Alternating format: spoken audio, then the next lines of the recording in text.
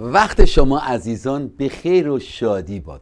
چند روزی فرصتی تا سال نو. شوی تلخی ذهن را کینه دل را تا بیابی شادی و آرامش و افکار نو. تقدیس کن خیش را از هر بدی. تقدیس کن خیش را از هر بدی چون که محصول بدی گردد بدی. آنچه در آینده هست آینده هست. با توکل بر خدا پیروزیت پاینده است. مطابق آنچه که نویسنده مزمور 112 یک الهش اعلام می‌کنه خداوند را سپاس باد.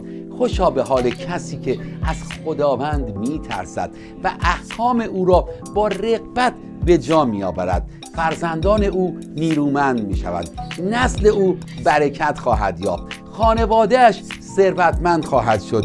و او تا به ابد کامیاب خواهد بود. تاریکی برای آنانی که نیکوکار بخشنده و عادل هستند روشنایی خواهد گردید.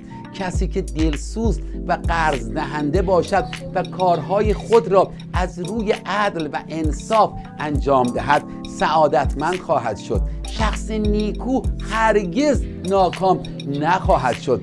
و نام او همیشه به نیکویی یاد خواهد شد. از خبر بد نخواهد ترسید زیرا ایمان او قوی است و به خداوند اعتماد دارد.